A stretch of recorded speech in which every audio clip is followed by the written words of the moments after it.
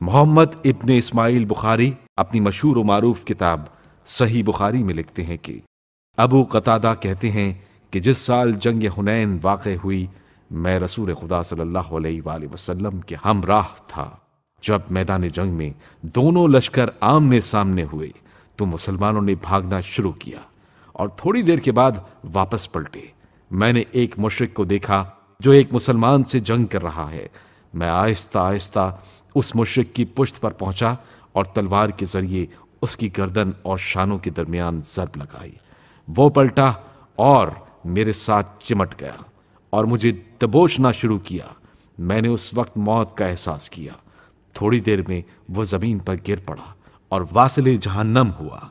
उसके बाद मैंने हज़रत उमर को देखा तो उनसे कहा कि, ये लोग क्यों मैदान जिहाद से भाग रहे हैं?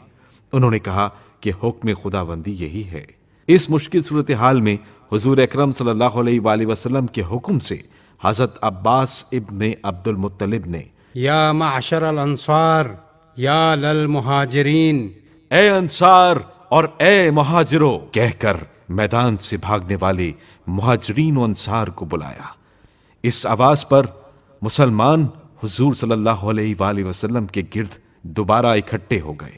और इस शिद्दत से जंग शुरू हुई कि लड़ाई का रंग बदल गया। कुफार मुकाबले की ताब ना ला सके और भाग निकले। बनु सकीफ ने ताइफ का रुख किया। बनु हवाजिन औतास में जमा हुए, लेकिन मुसलमानों ने औतास में उन्हें शिकस्त दी।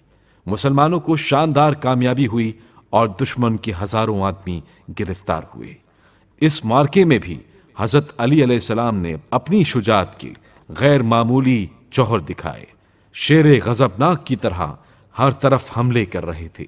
जिस तरफ़ निकल जाते थे, दुश्मन के खून से ज़मीन लाल कर देते थे। यहाँ तक कि सिर्फ़ आप सलाम ही ने चालीस आदमियों को कत्ल किया।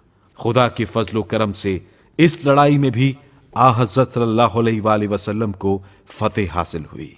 इस जंग में जो औरतें और मर्द गिरफ़्तार होकर आए थे, उनमें दाई हज़रत हलीमा की बेटी शीमा भी थी, जब वो हज़रत रसूल खुदा सल्लल्लाहु अलैहि वसल्लम के सामने पेश हुई तो आप सल्लल्लाहु अलैहि वसल्लम ने बड़ी इज़्ज़त के साथ उनको अपनी चादर बिछाकर बिठाया और बड़ी खातिर तवाजो की।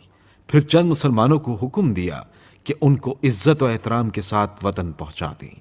शीमा ने कहा, भैया मोहम्मद, मेरी गैरत गवारा नहीं करती कि मैं आज़ाद हूँ और मेरे हम वतन और हम कबीला कैद में रहें। दुनिया मुझे क्या कहेगी? आप सल्लल्लाहु अलैहि वसल्लम ने मुसलमानों की तरफ़ देखकर फरमाया, क्या कहते हो? उन्होंने कहा, शीमा की दरखास्त ज़रूर मंजूर होनी चाहिए। बस आप सल्लल्लाहु अलैहि वसल्लम ने उन सब की रिहाई का हुक्म भी सादिर फरमाया। शीमा ने हज़रत रसूल खुदा सल्लल्लाहु अलैहि वसल्लम का शुक्रिया अदा करके कहा, भैया मोहम्मद, जहाँ इतना बड़ा एहसान किया है, इतना और भी करो। कि बनी हवाजिन का जो माल मुसलमानों ने लूट लिया है, वो वापस दिला दो। आ, हज़रत सल्लल्लाहु अलैहि वसल्लम ने फरमाया, शीमा, इस वक्त उसका मिलना बहुत मुश्किल है।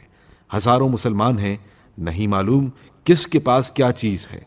अच्छा मैं तुम्हें एक तदबीर बताता हूँ। लो, ये मेरी अबा है। इसको लेकर किसी बुलंद मकाम पर चली जाओ और बावाज बुलंद कहो, मोहम्मद ने यह अबा मुझे बख्शी है। और मैं इसको फरोख्त करना चाहती हूँ। इसकी कीमत बनी हवाजिन का लुटा हुआ माल है। अगर उसको वापस दे दोगे तो मैं ये अबा तुमको दे दूँगी, वरना किसी दूसरी कौम के हाथ बेच डालूँगी। शीमा ने ऐसा ही किया।